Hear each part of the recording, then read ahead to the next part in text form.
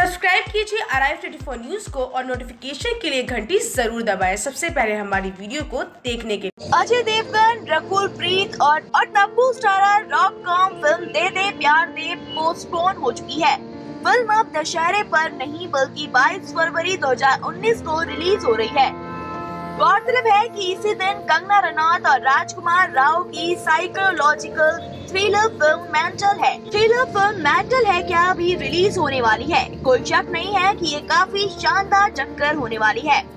बता दें कि दशहरे पर भी अजय देवगन की फ़िल्म अर्जुन कपूर की नमस्ते इंग्लैंड से टकरा रही थी। वहीं अभी फ़िल्म की कुछ शूटिंग भी बची है। लिहाजा फ़िल्म को अगले साल तक आगे बढ़ा दिया गया। अब इस साल सीधे सात दिसंबर को अजय देवगन टोटल धमाल के साथ दर्शकों के सामने आएँगे।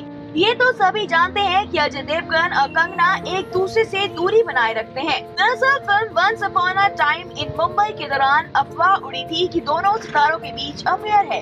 ये बात जब काजल के कानों तक पहुँची तो उन्होंने अजय देवगन को कंगना से दूरी बनाने के लिए हिदायत दे दी। देश दुनिया की तमाम खबरों के लिए देखते रहिए R I T four news पहचान सच्चाई की। और अगर अभी तक हमारे चैनल को सब्सक्राइब नहीं किया तो अभी कर ले।